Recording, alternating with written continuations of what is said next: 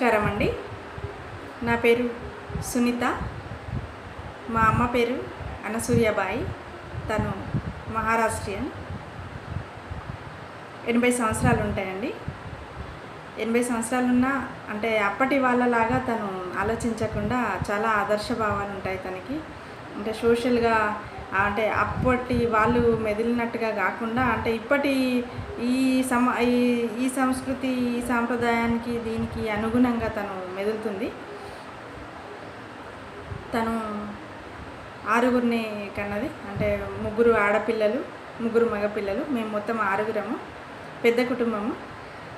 తన అంటే తల్లిగారి ఇంట్లో కూడా పెద్ద కుటుంబమే. మా మా ఇంట్లో కూడా మా నానమ్మ వాళ్ళ ఇంట్లో కూడా చాలా పెద్ద కుటుంబం అన్నమాట. పెద్ద కోడలు తను.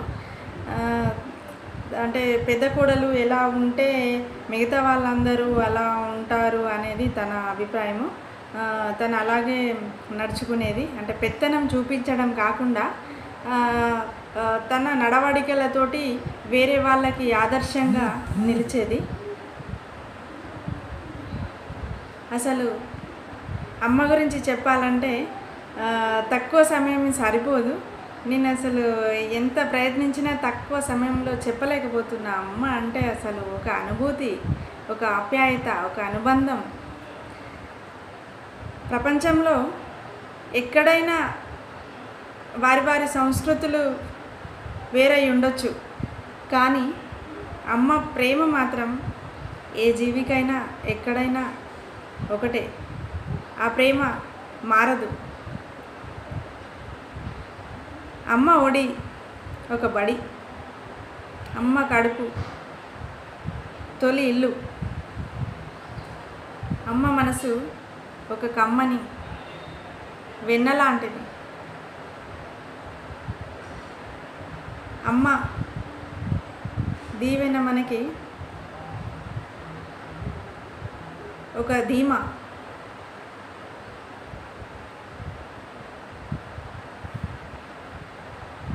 అమ్మ ప్రేమలో మనము తడిసి ముద్దవడమే. అంతకంటే అసలు మనం మన ప్రేమతోటి అమ్మ రుణం తీర్చుకోలేము.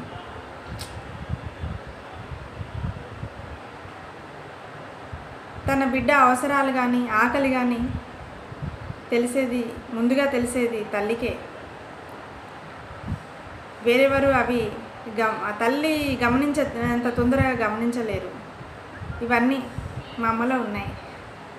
అవి చెప్పడానికి నేను చాలా గర్వపడుతున్నా నిజంగా.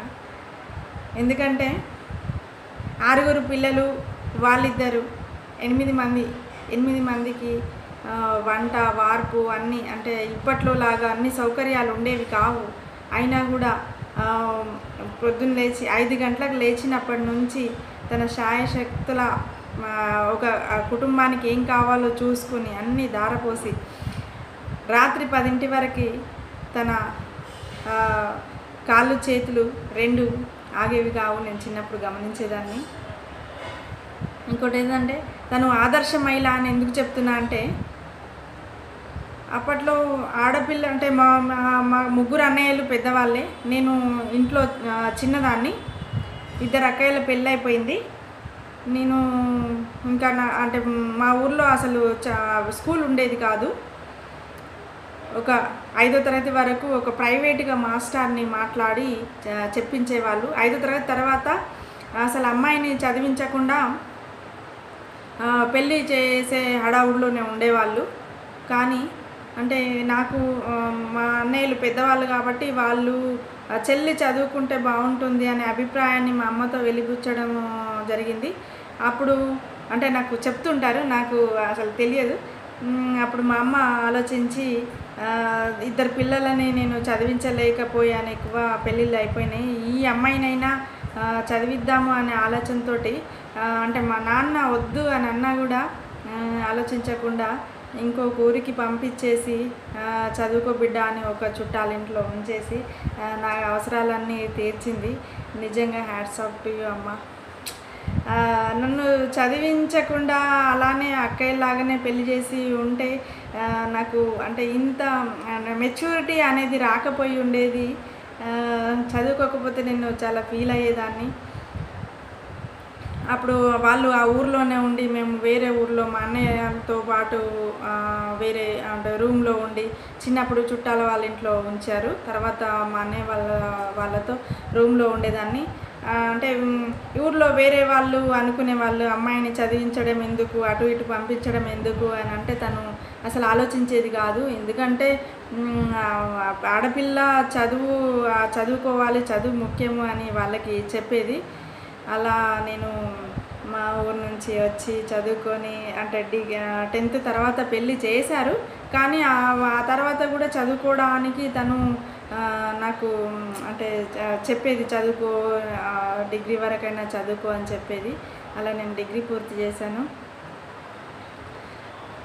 అంటే ఉద్యోగం చేయలేకపోయినా అంటే నా తెలివి నాకు మెచ్యూరిటీ రావడానికి మా అమ్మే కారణము. అంటే అప్పట్లో తను అలా ఆలోచించలేకపోయి ఉంటే నేను చదువుకునేదాన్ని కాదు. నాతో పాటు నా మా ఊర్లో వాళ్ళు కూడా ఇంకా చాలామందిని ఆడపిల్లల్ని చదివించారు. అప్పటి నుంచి నేనే ఫస్ట్ అంటే ఆ ఊర్లో నుంచి బయటికి వచ్చి చదివింది నేనే ఫస్ట్ అది మా అమ్మ వల్లే సాధ్యమైంది అని నా అభిప్రాయము. నిజంగా అసలు తను ఎప్పుడు తినేదో తెలియదు. ఆరుగురం పిల్లలము అందరం తిన్న తర్వాత మిగిలింది తినడము. తన ఆరోగ్యాన్ని కూడా ఆలోచించకుండా అంటే ఆపరేషన్స్ అవి అన్నీ కావడానికి అవే అని అనిపిస్తుంది. ఎందుకంటే మ- మంచి హెల్ హెల్తీ ఫుడ్ అవన్నీ తీసుకుంటే తను బాగుండేదేమో అనిపించింది. అయినా ఇప్పటికి కూడా పర్లేదు బాగానే ఉంటుంది. ఎందుకంటే ఆ పిల్లలందరూ ఆరుగురు పిల్లల్లో ఎవరన్నా ఒకరు నాకు కాల్ చేయాలి నాతో మాట్లాడాలి ఎందుకు మాట్లాడట్లేదు? వాళ్ళు నన్ను ఇదిగా చూస్తున్నారు అని ఆలోచించకుండా ఏవో పనులుంటాయిలే అని అనుకుని తన తన టైం పాస్ తను చేసుకుంటుంది పేపర్ చదువుతుంది టీవీ చూస్తుంది అన్ని విషయాలు తెలుసు. ఈవెన్ పొలిటికల్ విషయాలు కూడా తను ఇప్పుడు మాట్లాడగలుగుతుంది. చాలా మంచి అది. అంటే ఈ భగవంతుడు అన్ని చోట్ల ఉంట ఉండలేడు. అందరికీ అన్ని అందరి దగ్గర ఉండి అందరికీ న్యాయం చేయలేడు కాబట్టి అందరికీ ఒక అమ్మను సృష్టించాడేమో అని అనిపిస్తుంది. Hats off to mother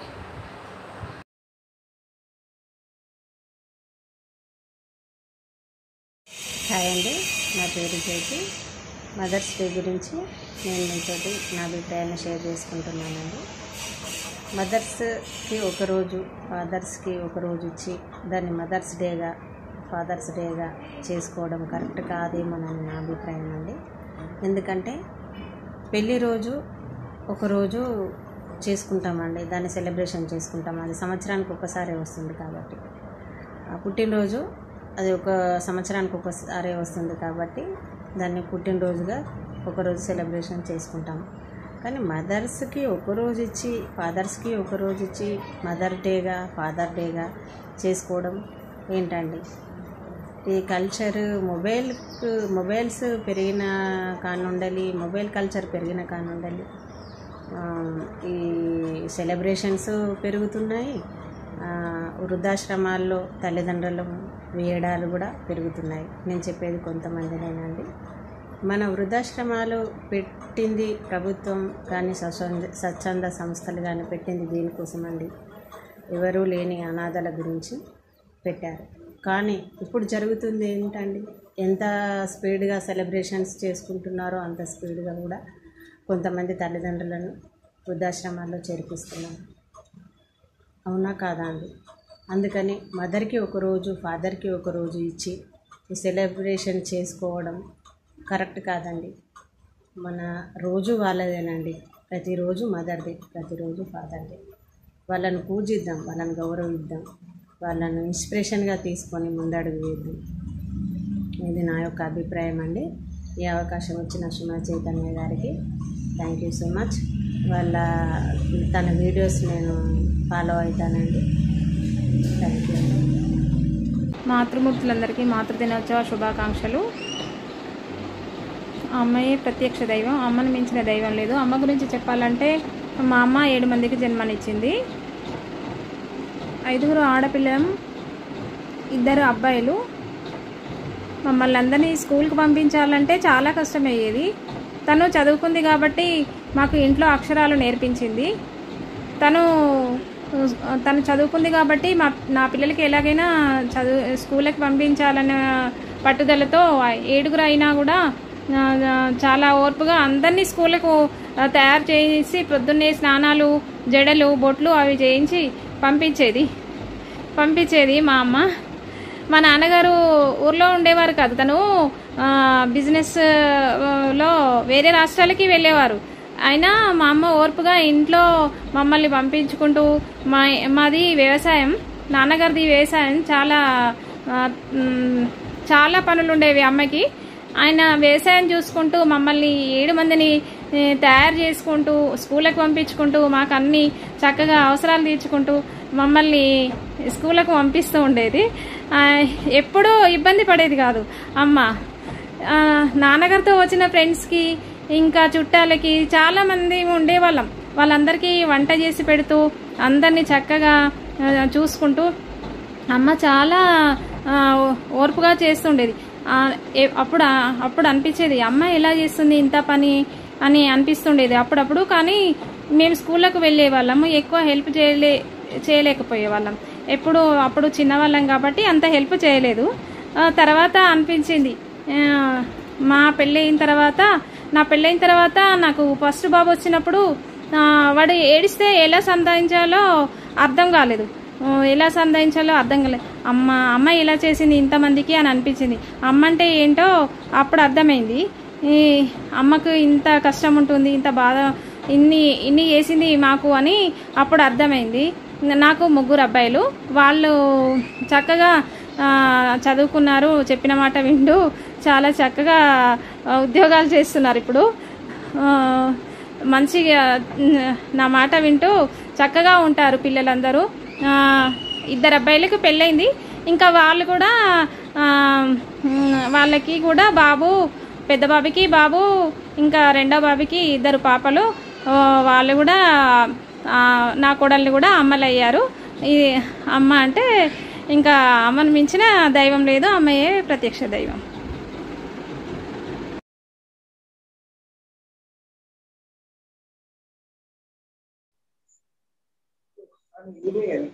okay అందరికి happy mother's day.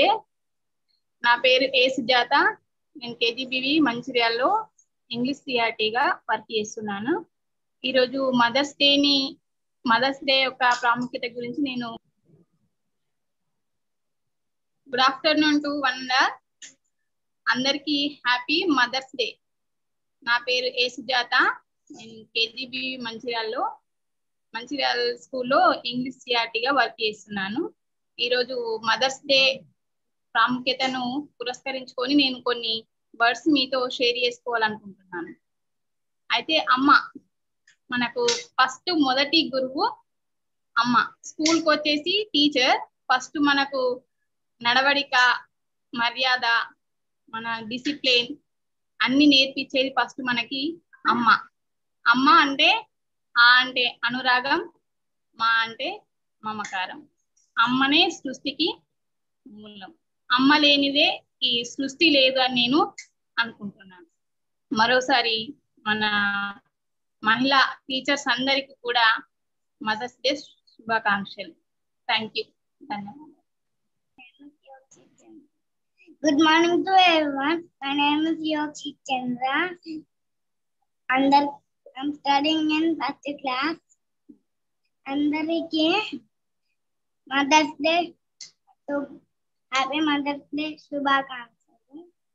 Very good very good మీ సిస్టర్ ఇక్కడ my mother I like my mother మా మదర్ పేరు సు- ఆయన Sujatha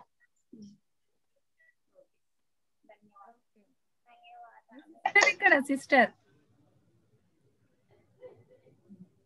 okay Good morning to everyone. My name is Hayogita Astri. I'm studying in fifth standard. అందరికి మహిళా టీచర్స్కి అందరికి ఆంటీస్కి నా మదర్స్ డే శుభాకాంక్షలు my mother name is my mother name is my mother name is Sujatha I love my mother thank you yes very good నాన్న super super yeah start madam hi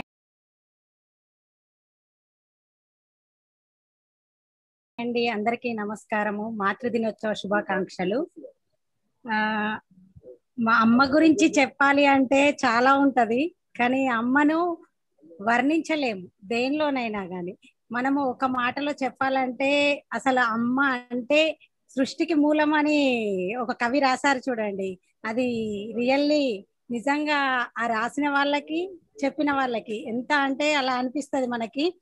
మనము అమ్మ గురించి చెప్పేటప్పుడు మనకు ఆనంద పుష్పాలు ఎప్పుడు రాలుతూ ఉంటాయి. అమ్మ మాట వింటుంటేనే మనకి ఇలా అయిపోతుంది.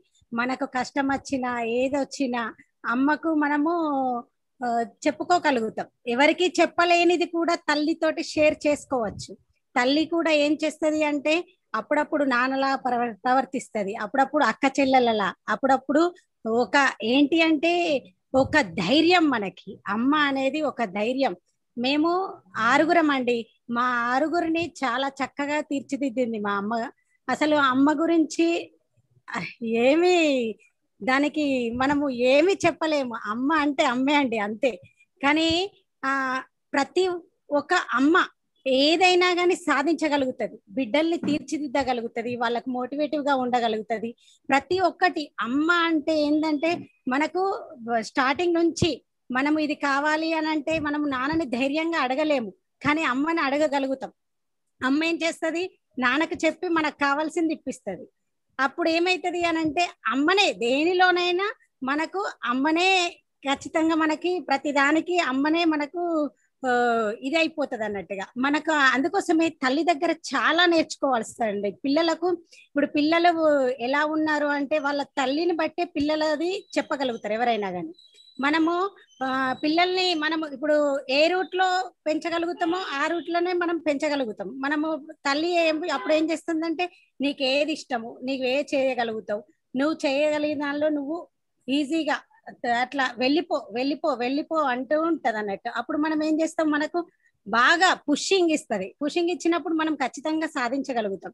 నాకు మాత్రం మా అమ్మ చాలా చాలా ఎలా అంటే ఆమె గురించి నేను చెప్పలేను. ప్రతి దాంట్లో నాకు బాగా హెల్ప్ ఉంటది. నేను ఏదైనా కానీ ఇప్పుడు మళ్ళా మనకు మనము తల్లికి తల్లి మనకు ఎప్పుడైనా మనకు షే- అది బాధ కష్టము సుఖం కాదు. ఫస్ట్ ఫోన్ ఆ ఇవాళ ఇది జరిగింది అనగానే మనకేమనిపిస్తుంది? మన మనసుకి ఫస్ట్ అమ్మకు చెప్పాలి. వెంటనే అమ్మకు చెప్పాలి అని హ్యాపీనెస్ లోనైనా దేనిలోనైనా అమ్మకు చాలా మనము చెప్పగలుగలుగుతాం ఇలాంటి అమ్మనిచ్చిన ఆ దేవుడికి ఎంతో ఎంతో కృతజ్ఞతలండి. ఓకే అండి. మంచిదండి. Thank you thank you. Super madam. Super. Very nice Rajitha గారు. Thank you Sumana. అసలు చాలా. మంచి అనుభూతుల్ని మీరు మాతో పంచుకున్నారు. అమ్మగారి పేరు ఒకసారి చెప్పండి. అమ్మగారు అల్లెంకి భాగ్యలక్ష్మి అండి. సుల్తానాబాద్ ప్రాపర్ అండి మాది. అమ్మ వాళ్ళది. Thank you madam.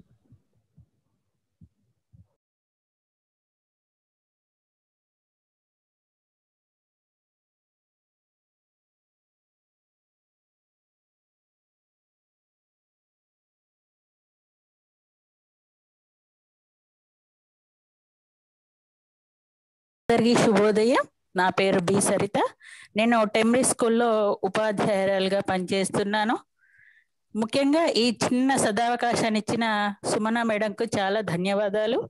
అమ్మ అమ్మ అంటే అనుభూతి. అమ్మ అమ్మ అంటే ఆత్మీయత. అమ్మ అంటే ఆనందం. ఎన్ని రకాలు చెప్పినా ఆ దేవుడు అన్నిట్లో ఉండడు కాబట్టి అమ్మను ఇలలో మనకు దగ్గర చేసి ఆ దేవుని ప్రతిరూపంగా మనకు అమ్మను ఉంచడం జరిగింది. అమ్మ అంటే దైవ స్వరూపం. ఇక అమ్మ గురించి చెప్పాలంటే ఎన్ని చెప్పినా తక్కువే. ఎందుకంటే అమ్మ చూపెట్టే ప్రేమ ఎక్కడా కూడా కల్మషం అనేది ఉండదు.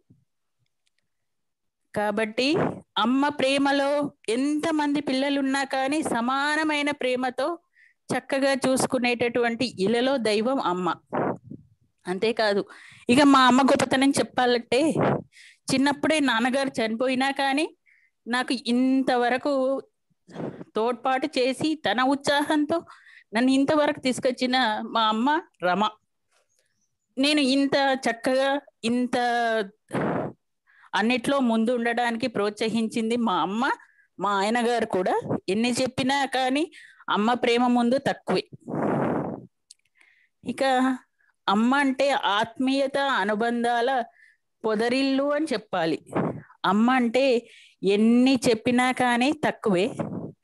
ఇంత చిన్న ఉపన్యాసం నాకు ఇంత చక్కటి అనుభవాన్ని ఇంత చక్కటి మాటలను సుమనా మేడం ఇచ్చినందుకు చాలా ధన్యవాదాలు. Thank you thank you madam అమ్మగారు ఏం చేసేవారు అమ్మ హౌస్ వైఫే ఉండే కానీ కష్టపడి నన్ను తాతగారి ఇంట్లో ఉండి చదివిపించి అన్నిట్లో ముందుండాలని చెప్పింది మేడం. ఓకే వెరీ గుడ్ అమ్మగారి పేరేంటండి? రామా రామా మేడం. రమాగారు ఉన్నారా? అంటే ఎక్కడ ఉంటారు తను? ఉన్నారు ఉన్నారు. తమ్ముడు తమ్ముడు దగ్గర ఉంటారు. లేదా లేదు మేడం. తమ్ముడు దగ్గర ఉంటది. Thank you madam thank you once again.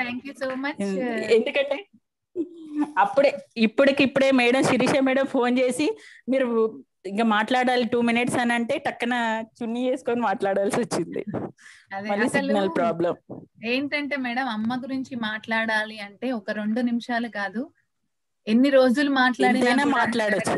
మాట్లాడిన తక్కువే. తక్కువే ఉంటుంది. చాలా చక్కటి అనుభూతులు మనకు తనతో ఉంటాయి. ఎన్నో చెప్పుకోలేని అనుభూతులు షేర్ చేయలేనివి కూడా ఉంటాయి.